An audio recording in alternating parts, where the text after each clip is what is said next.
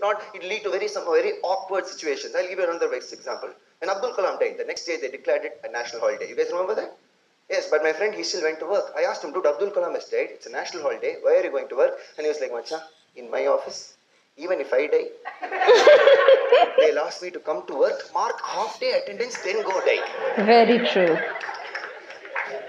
Fact. No, I don't like the idea of declaring a holiday when calamities occur. Because when you declare a holiday, that means there's a lot of idleness.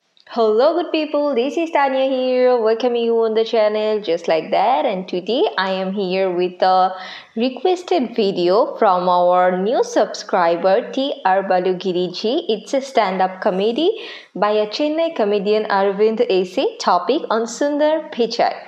Okay, so before playing the video, I'm giving you 30 seconds. 1 second for subscribing our channel and 29 second to comment who Sundar Pichai is. Let's try your general knowledge. Time up. Don't start googling. okay. Now allow me to play the video. Okay.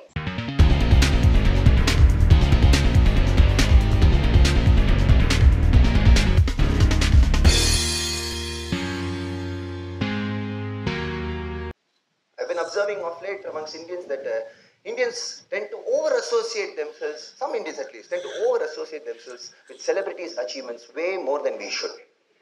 And I'll give you the best example of this. And let's take Chennai itself as an example. How many of you here know who Sundar Pichai is? Please raise your hands.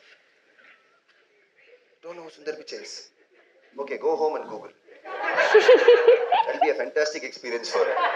He's going to go home tonight, open his laptop, and type in Google, Hello Google.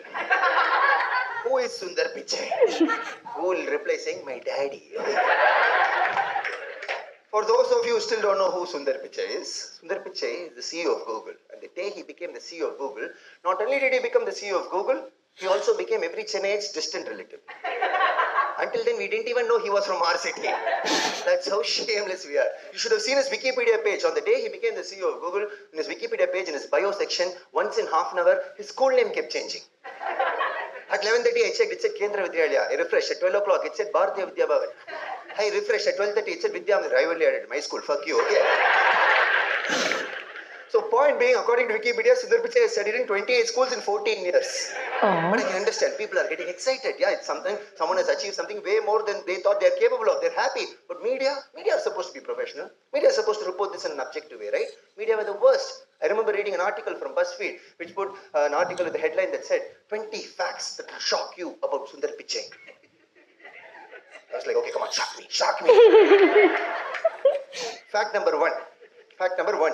Sundar Pichai's father was an electrical engineer from Anna University. Full stop. Where is the shock? Which is the shocking part? The electrical part, maybe. Yeah, correct. Fact number two Sundar Pichai, though, was different. Despite doing a civil engineering, he bravely deviated the odds and took up a job in Google. Full stop. Eh? he did engineering and took a software job. Like one million other South Indians in our country today. Very true. This fact would have been shocking if it had read like this, which is Sundar Pichai though was different. Despite doing a civil engineering, he bravely deviated the odds and went on to become a civil engineer. You would have been hey, congratulations, bro. And the worst was the Western media. When Western media started reporting this news, they have this tendency, which is that anytime anyone from a third world country comes and achieves something in a first world country, automatically they believe that man's story must have been a story of rags to riches. Why? Because they only seen one movie about us, which is Slumdog Millionaire. Exactly. Imagine if we judge them for American Pie. What if we think all Americans will put their dick inside their favorite desert like that? Not how it works. So Sundar Pichai came from a normal privileged family and his story had no drama. He just worked hard and with his privilege he achieved what he achieved. That's great. But that story can't be reported in America the way it is because the white man reading that and can't consume it. That has to be a sad story. It has to be a really dramatic story, which is why they'll start dramatizing aspects of his life which were never a problem in the first place, just to make that story feel more third world. For example, New York Times and Washington Post put articles that day saying Sundar Pichai and three other members of his poor upper middle class family what is a poor upper middle class. in Chennai, we call that posh. Okay. They used to live in a cramped three bedroom apartment. What is a cramped three bedroom apartment? In Bombay, they call it a gated community. My point is that we are living in, an age of misinformation. We have to check each and every message, the source, the context, and the agenda behind it. If not, it lead to very some very awkward situations. I'll give you another example. When Abdul Kalam died, the next day they declared it a national holiday. You guys remember that? Yes, but my friend, he still went to work. I asked him, dude, Abdul Kalam has died. It's a national holiday. Why are you going to work? And he was like, Macha, in my office, even if I die, they'll ask me to come to work, mark half day attendance, then go die. Very true. No, I don't like the idea of declaring a holiday when calamities occur. Because when you declare a holiday, that means there's a lot of idle minds. Idle minds equals Devil's Devil's Work. Workshop. Correct. Devil's Workshop equals WhatsApp forwards. Exactly. Correct. Because when there's a holiday and there's a lot of idle minds, there's a lot of people who t- start to take WhatsApp out and start spreading shit on WhatsApp from their own phone with only one goal in their mind. You know what their goal is? They want to see if the shit that they started that morning comes back to them by evening. If they get it back, or gilgilip. Same thing happened. Abdul Kalam died. The whole country is mourning. But my father had the gall to send me this WhatsApp forward of this pink animated heart emoticon that goes like this with a text below that said, This is the heart of Abdul Kalam. this is the heart of Abdul Kalam. He's still alive. Pass this to 50 people in the next five minutes, he'll be reborn in Rameshwar. I was like, What? I called him and said, Daddy, stop! Do not pass this to anybody. Because I was like, first of all, his name is Abdul Kalam. His name is Abdul Kalam. And obviously, he doesn't believe in rebirth. Because he's a Muslim, no scientist. What's wrong with you? this is why I said read the agenda context for every single thing. This is what they want you to see. At least that person next to him was like, "Ooh," அப்படி சொல்லி போய்கிட்டாரு. That man was a Muslim. I mean,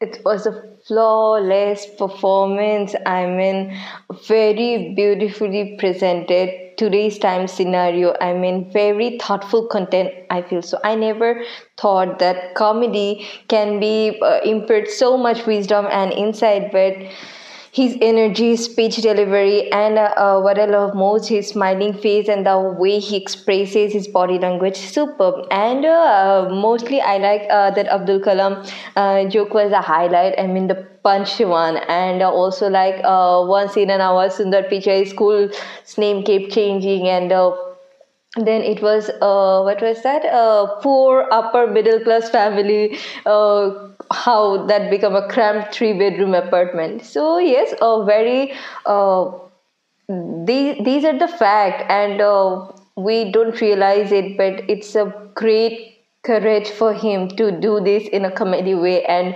uh, give us some lessons. So i was going little low from yesterday but watching this honestly aravinda you swipe out all the worries i had from yesterday. And uh, also i would like to thank you tr balugiriji. I would like to express my gratitude for uh, staying with us. And uh, secondly that because of you maybe along with me so many people just loved. So you just brought a smile in our face okay? So that's all for today. I would like to say please don't forget to like share subscribe and comment so that our video reaches to many people and we can do more more more better videos. Please in this covid time dear stay safe and uh, yes uh, be happy spread positiveness. Thank you